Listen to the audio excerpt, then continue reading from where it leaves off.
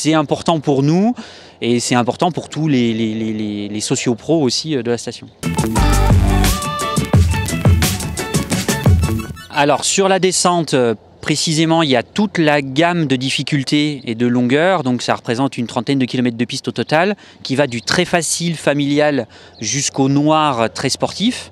Euh, ça c'est pour la descente. Et pour les VTT électriques, on a un itinéraire en particulier qui part du bas de la station et qui va jusqu'en haut qui est classé rouge, non pas parce qu'il est difficile de pédaler au vu du VTT électrique, mais parce que ça reste du pilotage et qu'il faut être un petit peu sensibilisé au pilotage VTT pour monter, même si c'est un VTT électrique.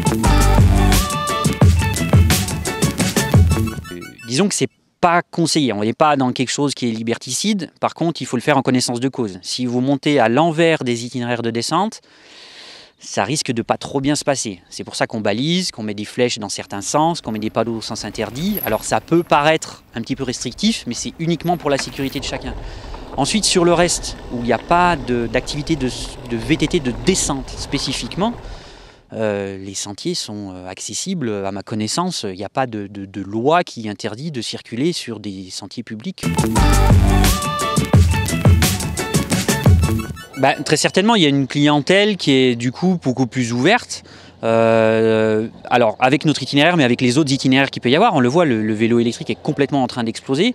Et sur, et c'est bien, et sur des activités comme on a nous, c'est important de prendre en compte cette mouvance et cette évolution de la pratique. Et on est content d'aller proposer ça et de proposer ça avec les loueurs de vélos, euh, de proposer ça à une nouvelle clientèle, bien évidemment, euh, peut-être plus contemplative, peut-être un petit peu moins sportive, et puis qui a envie de profiter et pas forcément de suer du début à la fin en montant au sommet du mont.